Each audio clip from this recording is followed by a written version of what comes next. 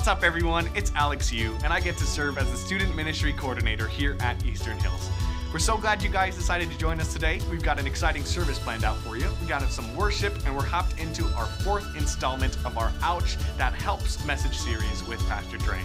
We're glad you guys decided to join us once again, so let's get started. Well, good morning, Eastern Hills. My name is Austin Mosden. So glad you guys joined us today for worship. Want to welcome you in person and online, and even you out in the lobby if you guys want to come join us. Uh, before we get started for worship today, we've got our call to worship from Psalm 95, 1 through 2. It says, Come, let us sing for joy to the Lord. Let us shout aloud to the rock of our salvation. Let us come before him with thanksgiving and extol him with music and song. And that's why we gather today. We gather to hear a message, to hear God's word, but we also gather to sing these songs and praises unto our Father in heaven. So would you stand and would you sing with us as we worship this morning?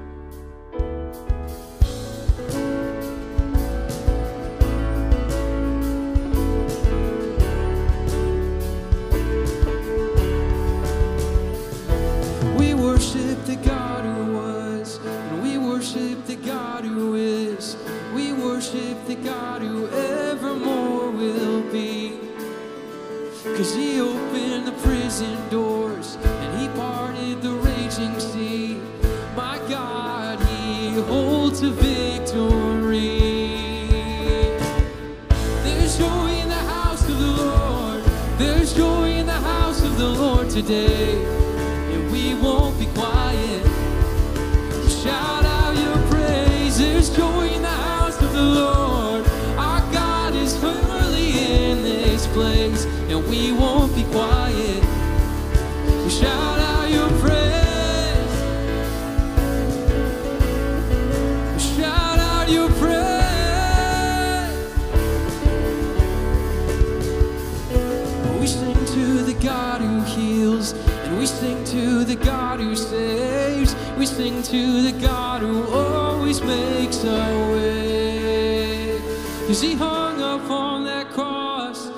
And he rose up from that grave. Well, my God still.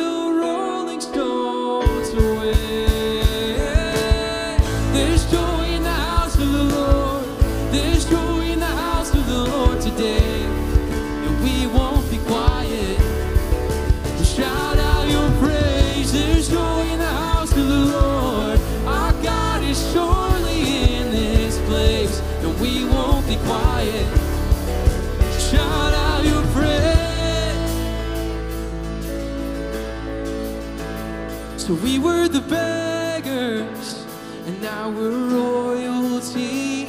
And we were the prisoners, and now we're running free. We are forgiven, accepted, redeemed by His grace. We'll let the house of the Lord sing praise. Sing that with us. Here we go. So we were the beggars, and now we're royalty.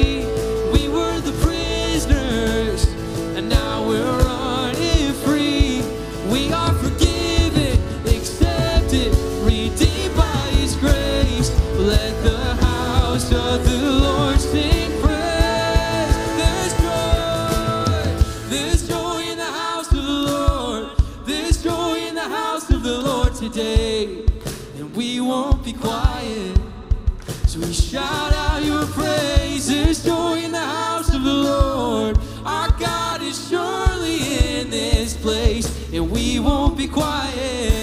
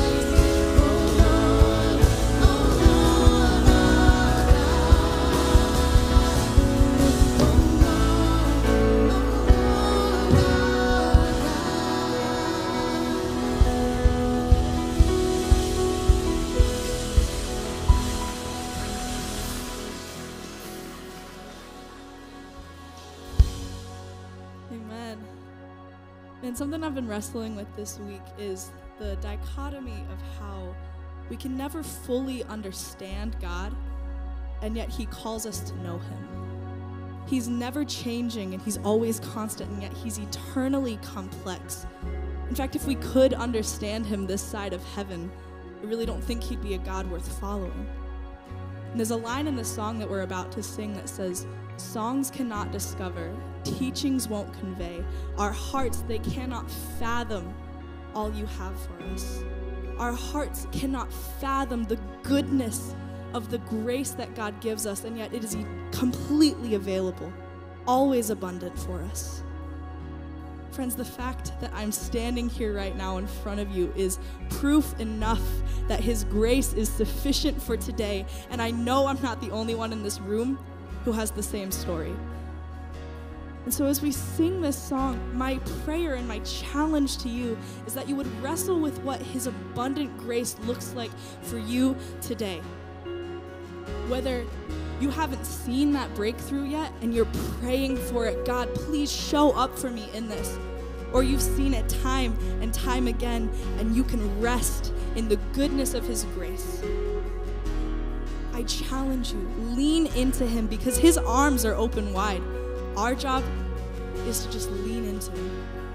And so, wherever you're at, I pray that even if just for this song, even if just for this moment you would fully surrender to Him and take in everything that He's got for you, because His grace is sufficient for today. Could you sing this with us?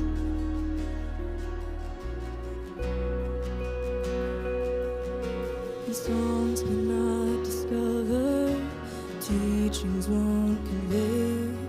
Our hearts they cannot fathom all you have for promises won't falter, your word will never fade. We're singing as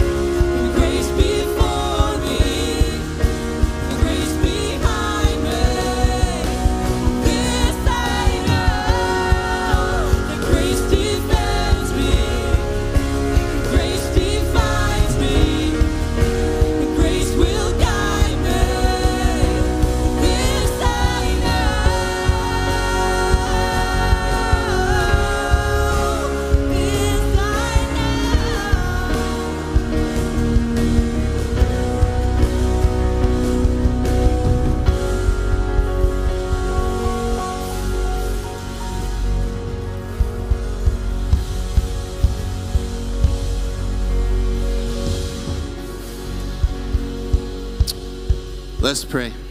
Father, we praise you for being one that despite the fact that your word says that we fall short, that there's this thing that's that we call sin that separates us from you. You're a God that showers us with your grace and showers us with your mercy. That there's new compassions every single day that you have for us, that we get to rest in that unwavering truth. Father, we praise you for the sanctifying work of your Son, Christ Jesus, on the cross, for which we have purpose for our lives. And now we get to live for him, Father. We love you.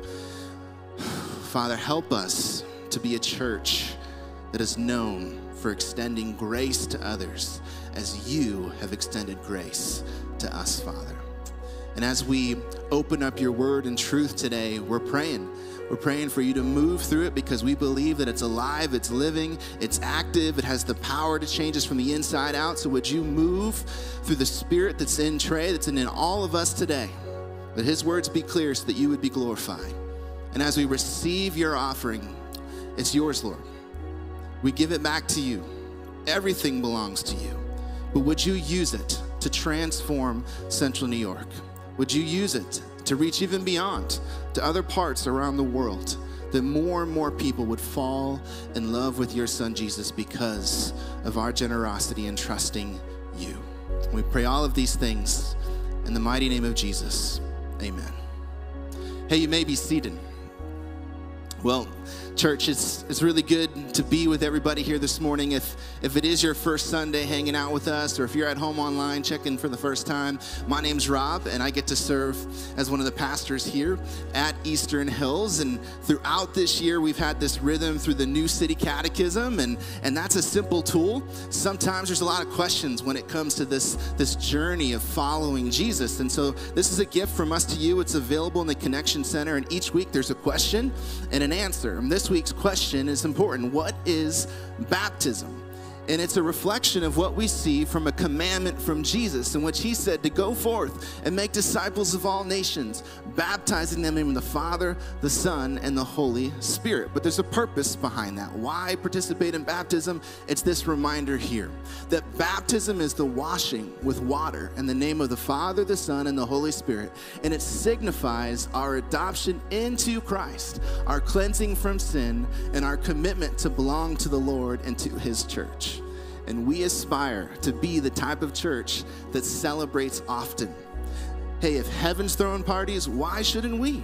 And so next week, we get to celebrate life change. People stepping forth and publicly declaring their trust and allegiance to Jesus. So make sure you're here. Bring a friend or two. And if you're ready to take that step and to be baptized, we've got a tool for you. It's called a connection card. We'd ask for you just to fill it out say, hey, I want to get baptized. And we'll call you this week and walk alongside you in that process. And if you're wondering, how do I get involved here, connect, fill out that card. And every week on Thursdays, we send out a reminder of all the great ways that you can engage here at Eastern Hills. Now, as the guest services team comes forward, we receive today's offering. One of the things that's true about generosity is that it stretches us. And what's also true is that nobody makes a difference by staying comfortable, and neither will we. And so we want to be generous with our lives, our time, our talent, and our treasures because when we're generous in that way, we make a difference. And one of the ways that we're going to be generous this Thanksgiving is our third annual Bring a Turkey to Church Day. And so, if you've participated in this in the past, um, our goal this year is 150 turkeys. We're partnering with the Vineyard Church and their side out at Westcott. They have a food pantry there. And so, we want to make a way for families to have a turkey this Thanksgiving. So, next week, bring a turkey to church. I can't wait to see how God can use this act of generosity for people to think about hope in Jesus. Now, today, uh, we get to hear from Pastor Trae, our executive pastor of ministries here, as we continue our series ouch, that helps through the book of Revelation. So if you have your Bible, go ahead and grab that now, and let's turn our attention to the screens.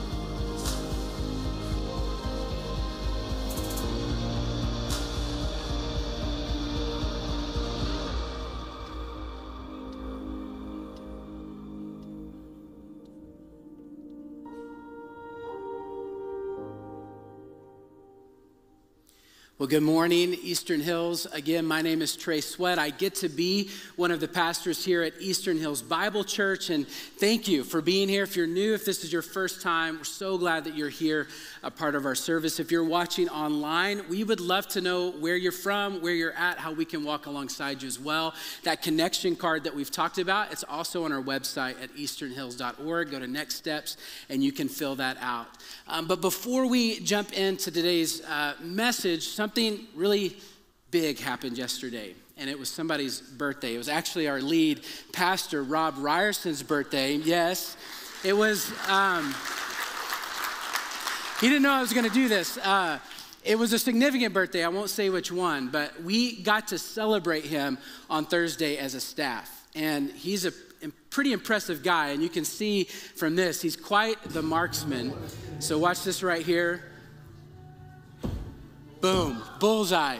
We got to watch it one more time. This was happening over and over as we were doing this on Thursday. One more time. Boom. Thanks. yeah, give it up for Rob. So grateful for you, grateful for your leadership, grateful that God brought you and your family here. And um, it's fun to get to work with you. And, uh, and so if you haven't got a chance, uh, take a minute, tell him happy birthday. When I was in high school in the early 2000s, there were two teams. There was Team Britney, Britney Spears, and there was Team Christina Aguilera. I happened to be Team Christina. And there was a song that she came out with in the early 2000s called Beautiful. Do you remember that song? I'm, gonna, I'm just going to read through these lyrics. I would sing it, but I got to save my voice here for the message. But she says, I am beautiful no matter what they say, words can't bring me down. I am beautiful in every single way. Yes, words can't bring me down. Oh no. So don't you bring me down today. And those words became an anthem for all kinds of people. It was sung all over the place. If you turn the radio, that song was on. And it's a great song to sing. It's fun to sing, and it's a fun idea to think about, but it's not really true. Not everything is beautiful. Words do matter. Words can bring us down, and it's just not true. On Tuesday night, like a lot of families with kids, it was trick, trick or treat, and our kids, they were all out in the neighborhood, and they brought back so much candy. And at our house, every single year, they take those bags of candy and they dump it out on the kitchen table or they dump it out in the floor and they start counting pieces and making trades and just trying to figure out what all happened that night, what all they have, what they're excited about. And there's always the question can I have a piece of candy, right? And we're, we try to be good parents, and so we don't just say, hey, eat as much candy as you want, go for it. You make the decision. No, we say, hey, one piece of candy now, let's have dinner. We can have a few pieces after that. Or, or we say, hey, three pieces of candy. We give some instruction, we give some clarity, we give some information. It's really fun because out in our parking lot here at the church, it's a big area. And a lot of parents bring their teenage kids to teach them how to drive. And it's pretty comical at times. You see them learning how to parallel park and practice blinkers and getting out and checking the car. And just a few weeks ago, I walk out the front door and there's a Jeep Wrangler and it's starting and stopping, starting, stopping. You hear grinding going on. And I'm like, what is happening? And I look and there's a dad in the passenger side. And then in the driver's side is a teenage daughter learning how to drive a stick shift. That dad did not take the keys and throw them to his daughter and was like, hey, go test it, go figure it out. I'll see you in a little while. It'll be great. No, a lot of things would get tore up if that was the case. There would be destruction. And so, what's, what's great about God's word and what's really great about the book of Revelation is Jesus is speaking through John and he's giving a lot of clarity. He's giving a lot of instruction. He's giving a lot of warning. Hey, here's the guardrails. Here's what you need to see. Here's what you need to do so that destruction doesn't happen. Things aren't always beautiful. There's hard things. There's, this is a broken world with broken people. And we're going to see that today. And I, that's my prayer for today is that when we read God's word, that we would be in awe of his word, but we would also see what he's trying to say. And we would apply that to our lives. So I want to pray for us, and then we're going to get into our text this morning. God, we're so grateful for how you love us. God, we're grateful that your presence is here in us and with us. And God, as we look at your word today, God, we want to be obedient. We want to submit to your truth. And God, we're so grateful that there is grace where there's those gaps.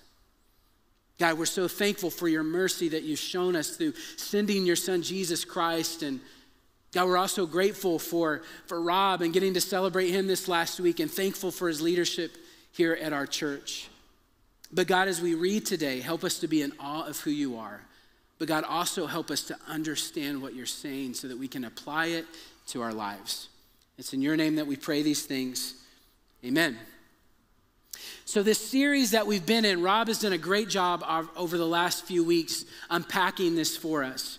And when we find ourselves butting up against truth, against something that's true, and it's not what we believe or we're not following that truth, it hurts.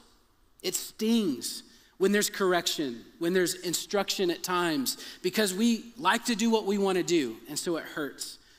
But our hope is throughout this series is that it's not an ouch that hurts, it's an ouch that helps because Jesus has shown his love for us by dying on a cross. He's shown his love for us by giving his, us his words. He's shown us his love through giving us his Holy Spirit. And so, yes, it stings. Yes, it's painful at times when there's correction, but it's in love and it helps because it's better. His truth is better. And so in week one, the ouch that helps message was to the church of Ephesus. And it was, it's better to have no church than an unloving church. How will the world know who we are? How will the world know the church is by our love? And week two, for the church of Smyrna, it's better to let a church suffer than to prevent it. When we follow Jesus, it's against the grain. It's uncomfortable, it's painful at times, there's suffering that happens but Jesus is with us. In week three for the church in Pergamum, it's possible for a church to stand with Jesus while not being for Jesus. We want to stand with and for Christ. Now, if you haven't been here the last few weeks, you're like, hey, I'm not for sure what all that means. You can catch up. You can go to our website. You can watch a message online. You can catch our podcast, EHBC podcast, and get caught up in our series. But today, for part four, we are looking at the church of Thyatira. And the ouch that helps message is this it's possible for a church to wrongly value staying together over staying faithful. There's times in our life where we just really want to be together. We don't want to ruffle feathers. We don't want to mess relationships up. We want to be together. And sometimes that can be greater than our desire to stay faithful faithful to Jesus, faithful to his word, faithful to his teaching, faithful to the call that he's placed on our life. It's easy to drift towards comfort, it's not easy to drift sometimes towards that truth. And when you walked in this morning, you received a card, and on that card it says Decoding Revelation. We had this last week. It's a great tool, but it's just a quick reference to help what's complicated maybe be a little more clear for us. And when you look at that, on one side, there's some words and phrases, and it gives some explanation for what those are. And then on the back side, it gives you that scripture with that infused in it so that it maybe just becomes a little more understandable. And I'm going to do my best this morning to walk through this text and help us see that there's some things we can grab a hold of. There's some things that are useful for us today. Yes, it's a text that was written to them, but it's written for us. It's important to remember that. Especially in Revelation, we can read it and we're like, I don't really know what's going on, and you just keep trucking through. But there's some very important things that are written for us today, for our church today, for you today, for your home. And we want to get there this morning.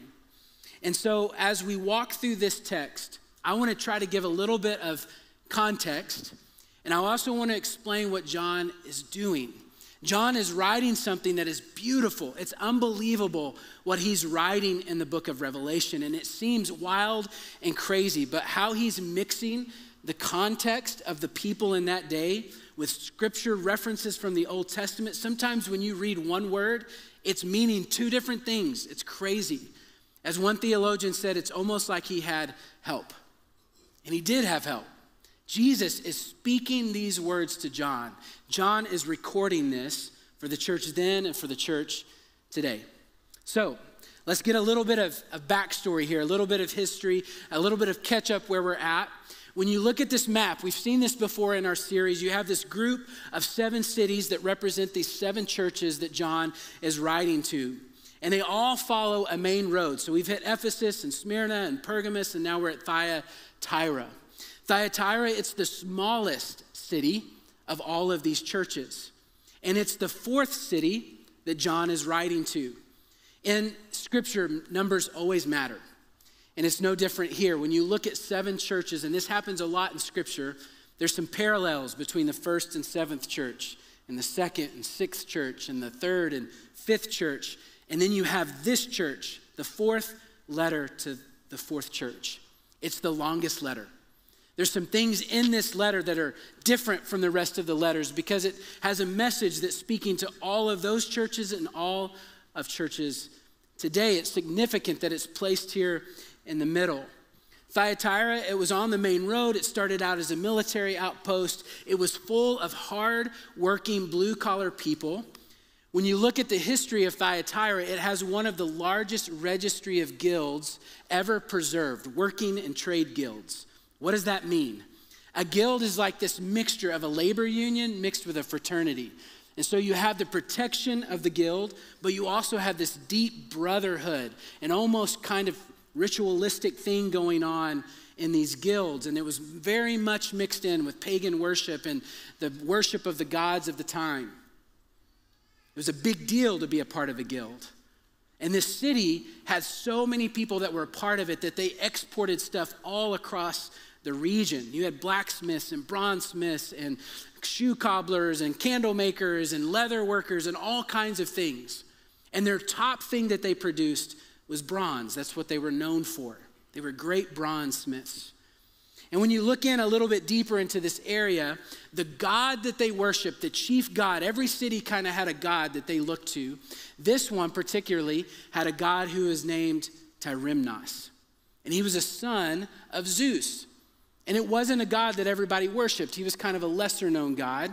And historians think that the reason that they worshiped this God was because they were a working class people. You think about Pittsburgh or Detroit and factories and like these people that have grit. They didn't want the guy that everybody else liked. They wanted their own guy. The kind of underdog was who they worshiped. At the time, you had the Roman Emperor Domitian that was ruling. You even have these coins. On one side is Domitian, and on the other side of this coin was one of his sons that had passed away. And his son is sitting on this, this, this uh, planet and he's being deified. They're trying to deify this son that had passed away. And there's these seven stars around it.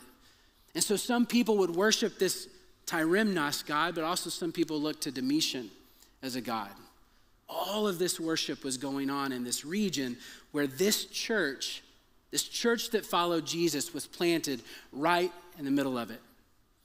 The last thing that I want to share before we read the scripture, and this was just really interesting, is there was this Jewish prophetess that was written about. And she was a Jewish prophetess in this area, and she was a Sibyl shrine. What is that? Well, in these bigger cities, there was these shrines or temples that you would go to, and there was prostitutes and pagan worship, and you would go with your problems and your questions, and you would want help, and you would go here, and you would do these ritualistic things and traditions, and hoping to better your life, or get an answer that you need, or to cure a disease you had, or to become to have a kid if you weren't able to have a kid. And she was a prophetess that was very much a part of all of these things. And if you were a Sibyl shrine, in a smaller city, it was kind of like a minor league shrine. It was like the Syracuse Mets. They're not the pros, but they're pretty good. So you could go there if you didn't want to travel to a place like Ephesus or Smyrna, and you would go there to get help from all of these different ways of worshiping, all these different gods, to get what you needed when you needed it.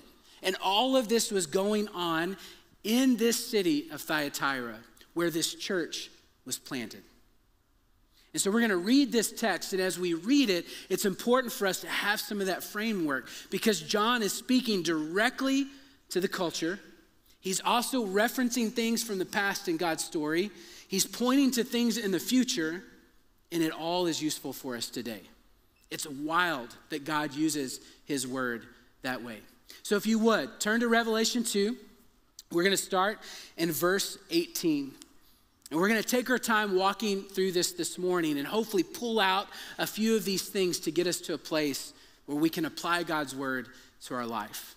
And so when we start here in verse 18, to the angel of the church in Thyatira write, These are the words of the Son of God. It's a huge statement right off the bat in this letter. It's the only time that we see Son of God in all seven letters, and it shows up again at the end of Revelation in chapter 22. But there's this statement that Jesus himself, Jesus the Christ, the Messiah, Lord and Savior, King of Kings, is speaking these words. Listen. That's what it means. Stop, listen. The Son of God is speaking. Some theologians even talk about some of the context here, right? Who did they worship in this city? They worshiped the son of Zeus. Who was on the coin? A son of Domitian. Some are even saying that this is kind of a trump card. No, I a trump card. No, I am the son of God. I am the one. When I speak, you listen. The Son of God, whose eyes are like blazing fire and whose feet are like burnished bronze. And maybe you can get this picture in in your mind of what's happening here this, this picture of awe and strength and power. It comes from Daniel chapter 10. Daniel's talking about this God who is strong and mighty because what's happening to God's people at the time? They're persecuted, they're exiled in Babylon, and they're having to persevere through something really hard, and they're looking to God who is strong and mighty, who's worthy of our praise. We sang about it this morning. We exalt him. What's wild, though, is the city of Thyatira. Remember, they're known for their bronze work. Their biggest export was burnished bronze. It's speaking to them in the moment, but it means so much greater. In verse 18. Now, verse 19, I know your deeds, your love, your faith, your service, and perseverance. This was a church who lived in a place where it wasn't okay to be a Christian. It wasn't the normal thing. They knew what it meant to follow Christ He's the way, the truth, the life. No one comes to the Father except through him. They had made that commitment. They were experiencing persecution. And God knows this. Jesus knows this. And so he's speaking directly to their service and their perseverance. You're doing a good job. You have been doing a good job. But he also says that you are now doing more than you even did at first. They didn't just stop, they're still growing in their faith. Verse 20, nevertheless, I have this against you. You tolerate that woman, Jezebel. So he speaks of the good stuff, and then he has a but moment, right? But nevertheless, I have this against you. You have started to tolerate this person named, not named Jezebel, this is just a reference. It could be talking about the lady that we talked about that was the Sibyl Shrine. Maybe it's that but it's for sure referencing some things in the Old Testament. And you go all the way back to King Solomon. So you have King David, who is the person that all of Israel had been waiting for, the king that was going to bring everything together. And David was a man after God's own heart, but he wasn't perfect. And towards the end of his kingship, things got a little shaky. And he was going, he wanted to build the temple. But King Solomon, his son, was the one who was commissioned to build the temple of God, this place where the Spirit of God was going to live, where people would come from all over the land to come and worship and to bring their sacrifices, this place that was to be holy. And one of the things that God asked King Solomon to do was to build this temple with God's people, use their gifts, use their talents. Well, King Solomon didn't quite do that. He went to the Phoenicians and he made a deal with them. If you'll bring your bronze smiths and you'll bring your stone cutters, I'll make a deal with you. I'll give you 20 towns. And we know what happens when this happens because it's happening today. Two people with two different sets of beliefs, two styles of worship, two worldviews are now living in the land together, and years pass, and there's conflict. And in order to make a treaty, the Israelites think it would be a really great thing to marry their king, King Ahab, to the high priestess Jezebel. What was she the high priestess of? Asherah worship. which has all kinds of sexual immorality and debauchery connected to it. It's connected to Baal worship, which is child sacrifice. And Israelites, God people, marry into all of this. And you can see this isn't good. This is where the wheels come off the bus for the Israelite people. They're divided, they're torn in two, and Babylon comes and they're exiled, and all of a sudden, everything has gone out the window for God's people. And the Jewish writers, they point it all the way back to King Solomon. He drifted from God's instruction. He tolerated some things that God said, don't do that. And all of a sudden, a drift happened and it ended horribly. John is referencing that here. Jezebel, who calls herself a prophet, by her teaching, she misleads my servants into sexual immorality and the eating of food sacrificed to idols. It shows up all throughout Scripture. This drift to worship what I want, what is self serving. This is what she's leading people towards and to. And so we see the response here. Verse 21, I have given her time to repent of her immorality, but she is unwilling. Even in this hard instruction, we see God's kindness. What does he say? I have given her time to repent. She's heard the truth. She knows about me. I've given her time, but she's unwilling. So what happens? I will cast her on a bed of suffering, and I will make those who commit adultery with her suffer intensely unless they repent of her ways. This word bed in the Greek, it means like a recliner.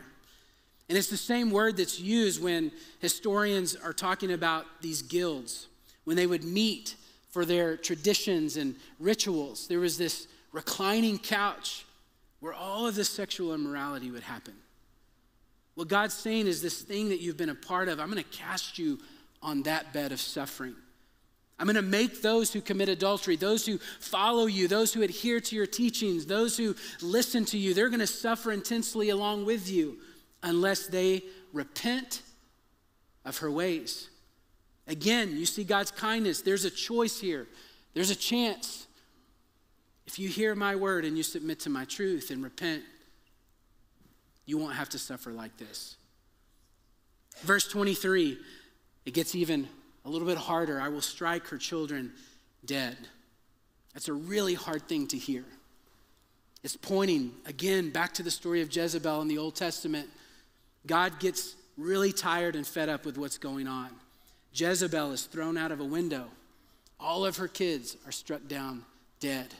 He's pointing to that and he's saying, if this continues, I am going to end this. I've given you warning after warning after warning. But there's a consequence. Then all the churches will know that I am he who searches hearts and minds, and I will repay each of you according to your deeds. Maybe this makes you think of Psalm. Psalm 139, verse 23, that, that God, search me, know my hearts, know my anxious thoughts. It's also from Jeremiah 17, that our God is a God who is looking, searching for those who know his truth and will submit to it. And that's who he wants to build his kingdom with. Our God is omniscient, he's all knowing, he's searching, he's looking for those, and he will repay each of you according to your deeds. Verse 24 Now I say to the rest of you in Thyatira, to you who do not hold to her teaching, those who have not learned, so not everybody's following this, and have not learned Satan's so called deep secrets. That's an interesting phrase, and we don't, we're not for sure what all of that means, but it definitely doesn't mean anything good. It means that they've mixed some things together. They've mixed all kinds of beliefs and thoughts. It's kind of an everything goes type mentality. And he says, Those who haven't learned Satan's so called deep secrets, I will not impose any other burden on you except to hold on to what you have until I come. He's coming. He's coming again. Verse 26. To the one who is victorious and does my will to the end, I will give authority over the nations, that one will rule them with an iron scepter and will dash them to pieces like property. So, what is he speaking to?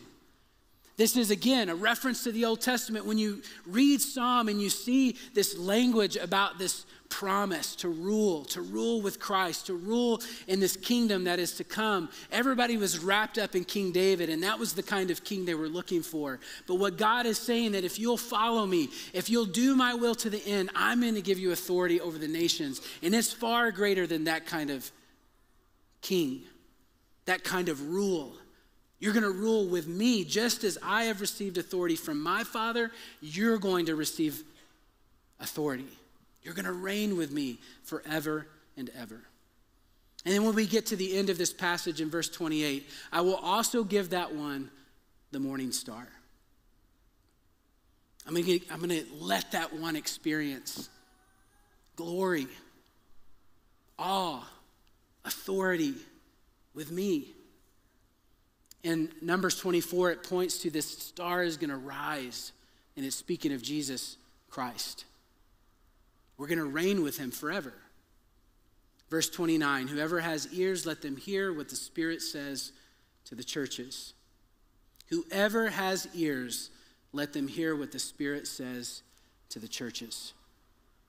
And so let's unpack this a little bit. In this passage, Jesus is demonstrating that Thyatira was good. They were a good church. They persevered, they loved people, they cared for one another. They were the kind of church, if you came in the doors, you would feel welcomed. You would feel like you belong. You would feel like you're a part of something that's, that's good. But at some point in this story, this devotion to making things good and loving one another starts to drift. This was a church that had a heart for Jesus and people. They knew the gospel, they wanted to apply that to their lives. And whatever happened in this story, whatever this teaching was, whatever people were drifting towards and beginning to tolerate, was not what God wanted, and it was derailing them from what they were meant to do. Maybe you've heard of the church of Thyatira before. In Acts 16, Paul is preaching the good news, and he comes and he meets this woman named Lydia. It says that Lydia, she was a a trader. She traded dyes and color and a purple cloth, and she was from Thyatira, and her whole family accepted Christ and was baptized.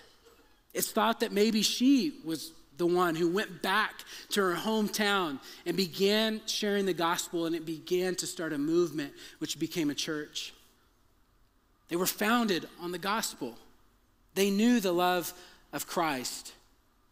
But just like in all these three previous letters, something happens here. The message is they were valuing the staying together, valuing trying to keep things all together more than they were valuing staying faithful to Jesus, faithful to the gospel, faithful to doctrine. When we hear the word doctrine, what does that mean? It, it, it's a set of beliefs, it, it grounds us, it's our foundation our church here has a doctrine. Maybe you've read it before. We have a statement of beliefs. We have a document that goes over our theological convictions and it helps ground us to God's word so that we don't sway from it, we don't drift from it. And that doctrine isn't just important for this platform, it's important for our kids' environment, it's important for our student environment. It shows up in our classes, in our small groups, in our one on one conversations with each other. Doctrine matters. Because the more we have the truth of God, the more we know about God, and the more we start to live the way He wants us to live. Those things matter. And whatever was going on in this story, they were starting to drift from this doctrine that they were founded on, this set of beliefs that the gospel and the gospel alone is true. Christ, Christ alone, nothing else matters. We're following Him. They started to drift from this. They started to tolerate other beliefs and thoughts. They adopted the mindset that love equals unconditional affirmation. And even worse than that, they started to allow the openness to this idea that all things maybe are good, or there's other ways to think about this to be taught in and throughout the church. The message is one of blind love and undiscerning openness. This allowance of things like idolatry sexual immorality, bad doctrine, gospelish doctrine might be best summarized in these words Worldliness is whatever makes sin look normal and righteousness look strange. At one point in time, this church, they were all about Jesus. But things started to drift. And when you've experienced drift in your life, I know I have, sometimes we don't notice it. Takes a little while for us to recognize that some things that used to be not normal have become normal in my life. And the same thing was going on in this church. As I was just getting ready for today, I came across a stat. And this was a Gallup poll that was done this last year. And I think it plays a lot into what, what we're talking about. How do we apply this? What does this mean for us today? Where do we see this drift at times in our own life or in our own churches? And this was the stat 25% of Christian adults, adults who profess their faith in Christ, they believe that the Bible is the actual Word of God. 25%. The actual Word of God. It's perfect. 17% of Christian adults believe that the Bible is an ancient book of fables. Professing Christians. And then the 58% in between have all kinds of mixtures of that belief.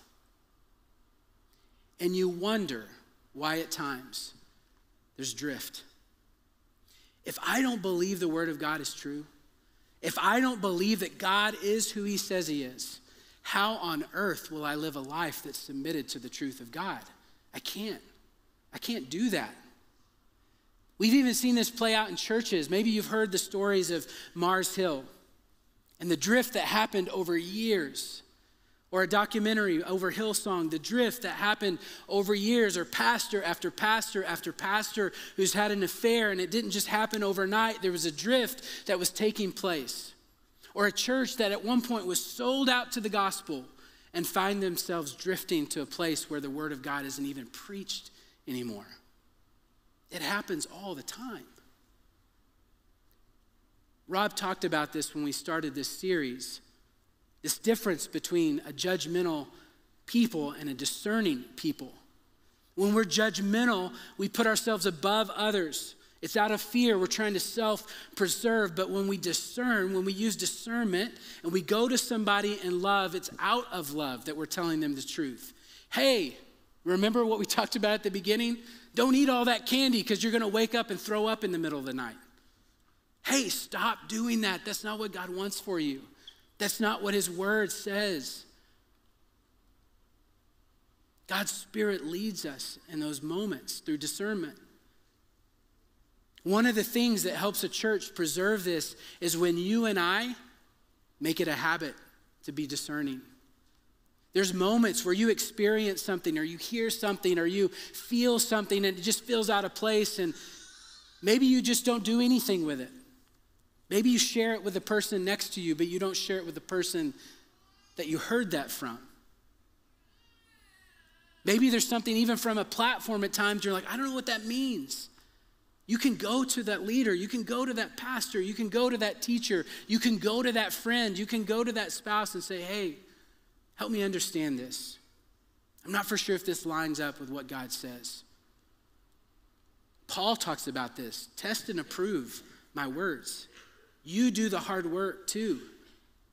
That's what we're called to be as a church. We're discerning, we're loving each other, we're helping each other stay accountable to God's word because the drift here for the church in Thyatira is that they're being tolerant. And what God is asking us to do is to choose truth over tolerance, to choose His word over this openness, this affirmation everything goes, whatever's good for you is good for you. No, the word of God is true, and we submit to His word and we follow him wherever he leads us.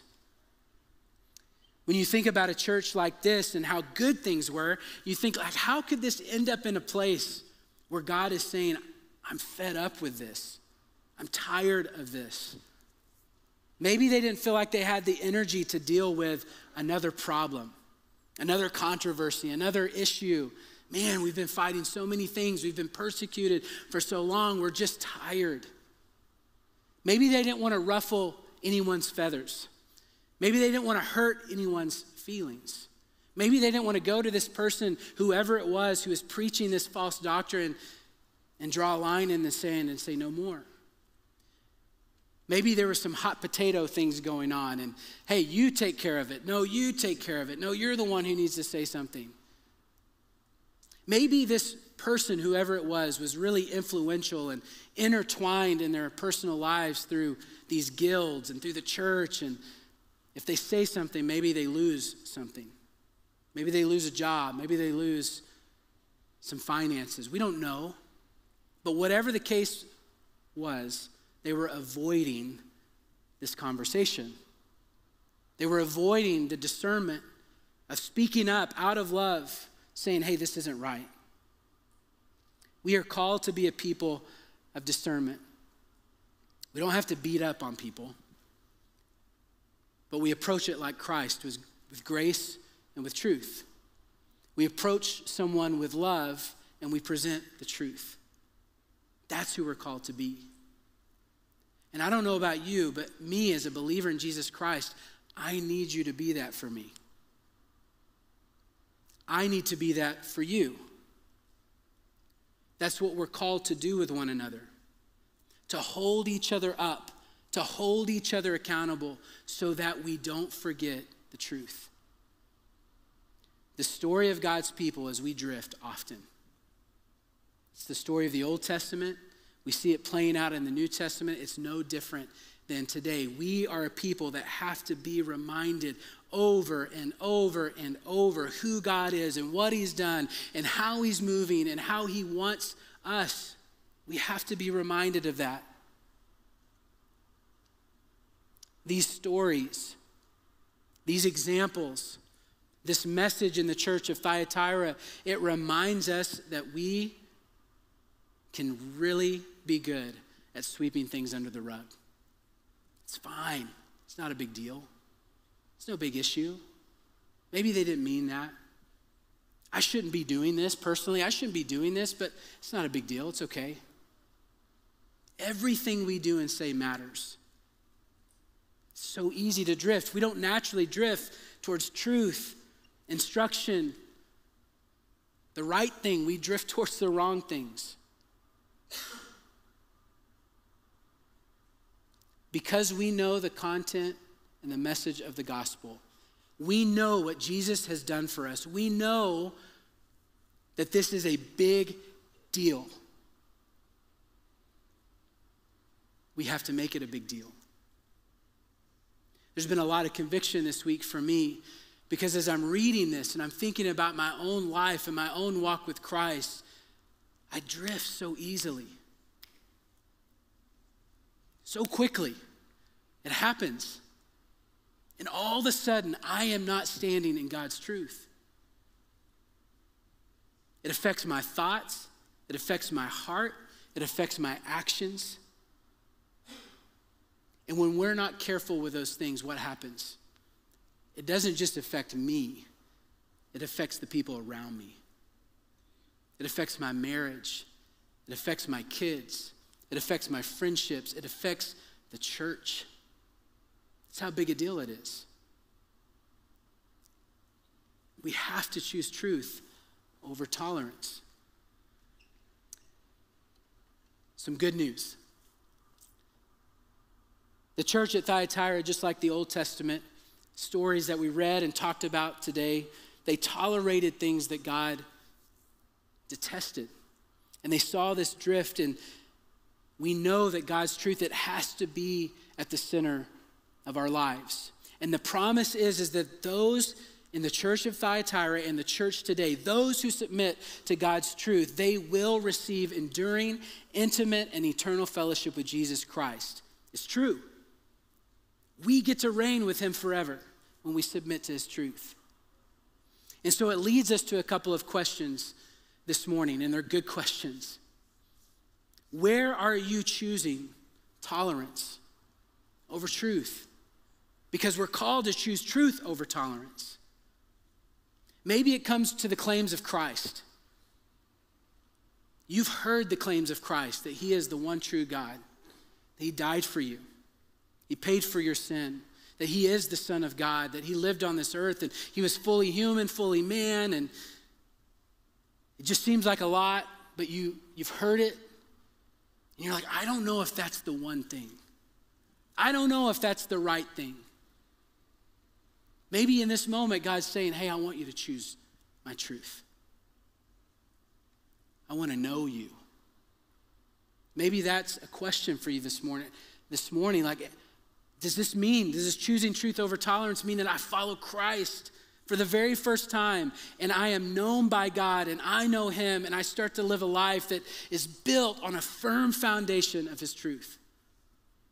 Maybe you've known Jesus for a long time and you've been choosing tolerance over truth and you've started to drift and you've started to get into some places where it's rough and it's difficult and you feel the tension all the time. God says, just choose my truth. Submit to my truth. Hey, what you've been keeping alone in your heart and your mind, end it today. Put it to death. My way is better and I'll help you. And I'll put a church around you to help you. Listen to my Holy Spirit. He'll lead and guide you. Read my word. Read scripture. Another stat. Another stat. Americans today, about 60% of Americans say they're Christians. They say that. And about 35% of them say they read their Bible three to four times a day or a year. Only 10% of them read their Bible daily. Maybe for some of us, that's a great place to start. I'm going to pick up His truth and I'm going to start to read it. And I'm going to start to do the work to understand it. And I'm going to do the work to apply this to my life so that I don't drift. So my family doesn't drift. So my church doesn't drift. Because that's what God has called us to. So this morning, think about this. Choose truth over tolerance. And I want you to hear this there is grace when we're not there yet, and there is mercy when we haven't found His truth yet. Jesus died on a cross for you and for me. And this morning, don't walk away from this and try to do it by yourself. Do it in community, do it with others. Let them come alongside you in this journey of choosing His truth. It's too easy for us to drift. And so this morning, if you want to make a step, you want to take a step in your faith, you want to say yes to Jesus for the first time, or you want to, you just need to do some confessing and say, I need help. I've drifted from God's truth. Talk to one of our pastors. I'm going to be here at the front of the platform. I'd love to help you and walk with you. But again, my prayer has been for today that when we read God's word, we're in awe of who He is. We're in awe of who He is, and we can understand it and apply it to our life. And so let me pray for us. If you would like to respond today, I'm going to hang out here as long as I need to. A couple of reminders. Um, we want to be connected with you. If we don't know who you are, if we haven't met you, if this is your first time, fill out that connection card. We want to get to know you. But let me pray. God, we are so grateful for our time together. God, grateful for your word that is true, that is good, that is right. God, we're so thankful that in our moments where we feel far from you, God, you haven't left us. God, we pray that this, this warning, this, this instruction, God, to the church in Thyatira would be one that, that we think about, that we apply to our life, God, that we would choose your truth over tolerance, God, that we wouldn't drift from your goodness. God, that we wouldn't have the thinking that everything is beautiful and everything is fine because everything's not. It's broken, it's messed up. People are broken, and you are perfect, and you are beautiful, and you are the one who changed us, and we are covered by your righteousness. And God, help us to have courage, to be discerning, and in love to approach those who we see it, we see that they're far from you. How horrible would it be for us to live our lives when somebody's been watching us and they know we're headed down the wrong way and they do nothing to come alongside us? God, that is the church you've called us to be. We love you. We pray all of these things in your name. Amen.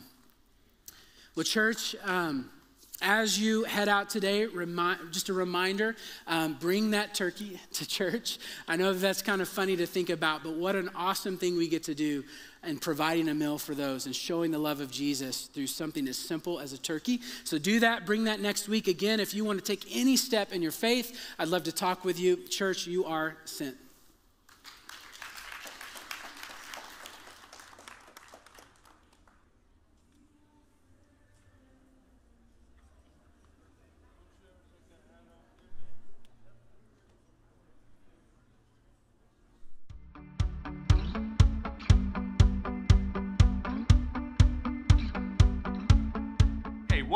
Amazing service. We hope you guys enjoyed it and that the message was impactful and resonated with you right where you were at. Today, Pastor Trae used a resource called Decoding Revelation, which expounds upon the language of the book to help us understand it a little bit more. And for those of you guys online, we've got that linked in the description below. Again, we want to know the best way we can connect with you. And so we can do that by filling out the Connect card online at easternhills.org under the Next Steps tab. We love you guys so much. We pray for you every week. Hope to see you guys next Sunday. Have a good one.